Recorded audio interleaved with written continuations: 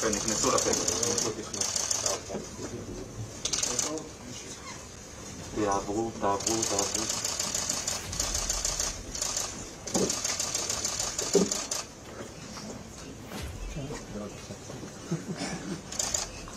Bonjour, Monsieur le Président. Boker Tov, good morning. And I want to make clear we are not looking for a confrontation in our northern border or with uh, uh, anyone else. We're focused on destroying Hamas infrastructure and bringing our citizens back home.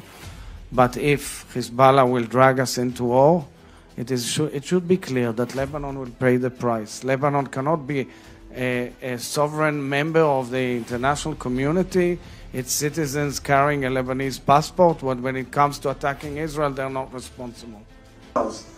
Between an Israeli citizen or anyone who holds another Like you, we're extremely uh, worried and disturbed as to the immense rise of anti Semitism around the world, also in your country.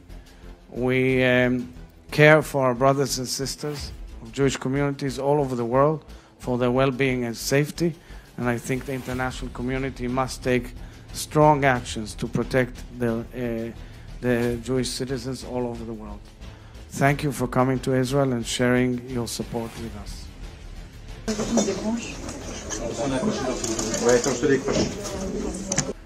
The first objective we should have today is the release of all the stages without any distinction. Because this is an awful crime to play with these lives of children, adults, all people, civilians, and soldiers. But I want, I want you to be sure that you are not left alone in this war against terrorism because I speak here on behalf of a country which experiences terrorist attacks unhappily.